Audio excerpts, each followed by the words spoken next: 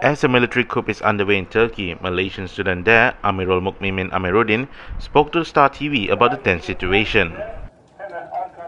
Sekarang kami uh, turun ke tempat kejadian di mana uh, tadinya ada pertempuran antara uh, polis dan tentera. Jalan ni diblok oleh orang awam. Semua orang-orang awam yang uh, kita boleh nampak yang ada kenderaan cuba blok jalan dan tahan uh, kereta kebal daripada masuk.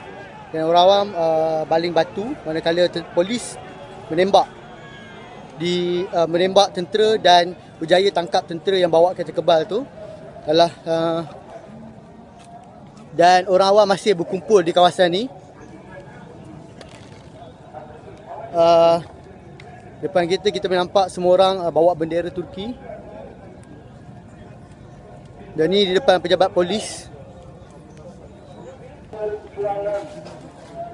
Uh, ada ucapan bu normal yolcuların inmesine uh, polis cuba uh, men- menenangkan keadaan. Polis kata uh, semua akan baik seperti sedia kala.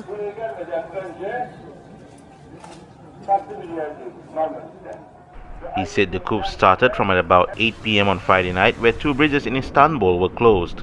He said at first he thought it was a roadblock for security operation following the suicide attack at the Ataturk airport last month.